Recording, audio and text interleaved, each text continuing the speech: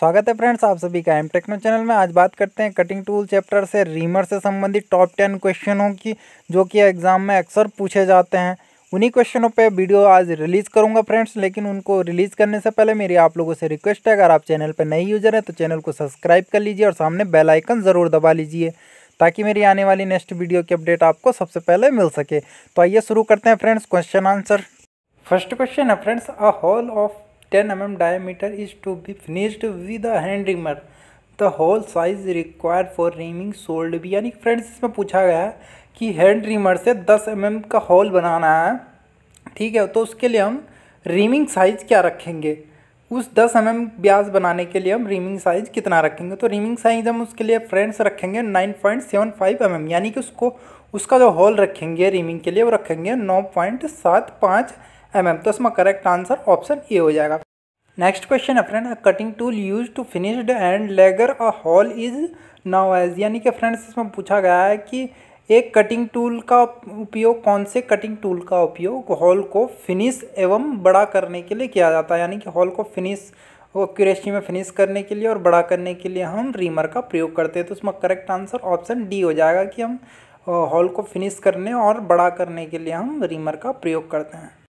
Next question है friend for reaming operation of blind hole the type of reamer required is यानी कि friends इसमें पूछा गया कि ब्लाइंड होल की रीमिंग की ऑपरेशन करनी है तो उसके लिए हम किस रीमर का प्रयोग करेंगे? तो जब भी हम ब्लाइंड होल की रीमिंग करते हैं फ्रेंड्स तो उसके लिए हम हमेशा right hand spiral fluted reamer का प्रयोग करते हैं तो उसमें करेक्ट आंसर ऑप्शन बी हो जाएगा कि right hand fluted spiral fluted reamer का प्रयोग हम ब्लाइंड होलों की रीमिंग के लिए करते हैं।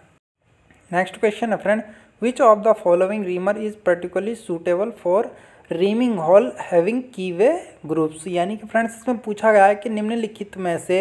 कौन सा रीमर है जिसका प्रयोग कीवे जिसमें यानी कि किसी हॉल में कीवे ग्रुप कटे हुए हैं और उसमें रीमिंग करने के लिए किस रीमर का प्रयोग किया जाता है? तो उसके लिए फ्रेंड्स हम हमेशा हेलिकल फ्लूटेड रीमर जो होता है, वो कीवे और हॉग जिन, जिस हॉल में कीवे ग्रुप कटे होते हैं, उसमें रीमिंग करने के लिए हेलिकल फ्लूटेड रीमर का प्रयोग किया जाता है। तो उसमें करेक्ट आंसर ऑप्शन बी हो जाएगा, फ्रेंड्स। एग्ज़ाम में बहुत पूछा जाता है, फ्रेंड्स, और इसको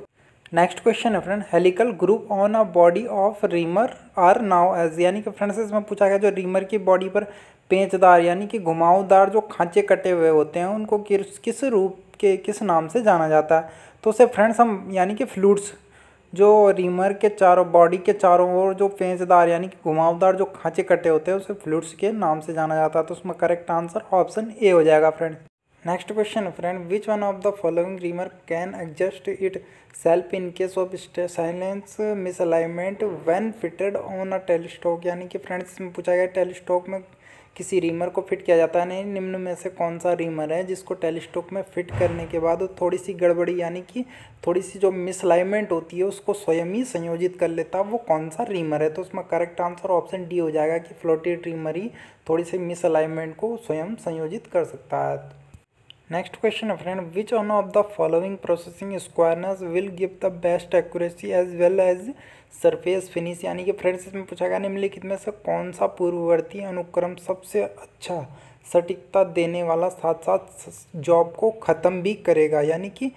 ऐसी कौन सी वो है, इनमें निम्न में से एक्यूरेसी में, यानी कि काम होना किसी जॉब पे काम को ख़त्म भी करना और बेस्ट एक्यूरेसी में ख़त्म करना तो इनमें से कौन सा ऑपरेशन सबसे पहले होगा और उसके बाद कौन सा होगा? तो सबसे पहले इसमें करेक्ट आंसर ऑप्शन सी हो जाएगा फ्रेंड्स कि पहले ड्रिलिंग होगी, उसके बाद रीमिंग और लास्ट में लैंपिंग होती है किसी भी कार्य में तो उसमें करेक्ट आंसर ऑप्शन सी हो जाएगा फ्रेंड्स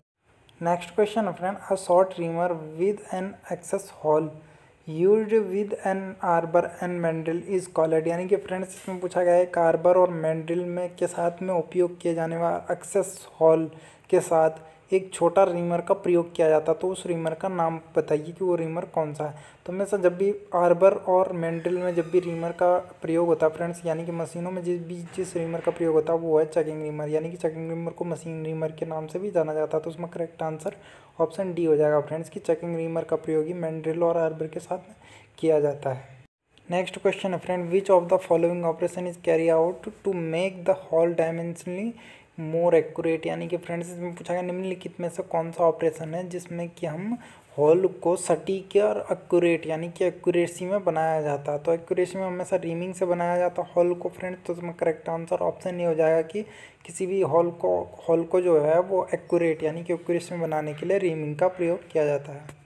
नेक्स्ट क्वेश्चन है friend if reamer is found to be cutting while rotating in clockwise direction when view against the entering end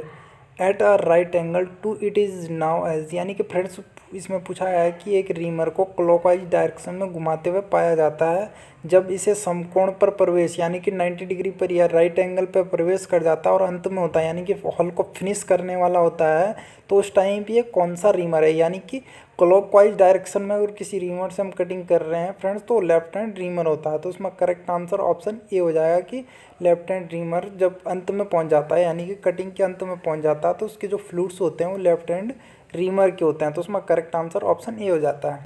thank you friends video को अंत तक देखने के लिए अगर आपको किसी क्वेश्चन में कोई डाउट लगे तो कमेंट करके ज़रूर बताना। और फ्रेंड्स अगर आप अभी तक चैनल पर नए यूज़र हैं तो चैनल को सब्सक्राइब कर लीजिए और सामने बेल आइकन ज़रूर दबा लीजिए, ताकि मेरी आने वाली नेक्स्ट वीडियो की अपडेट आपको सबसे पहले मिल सके।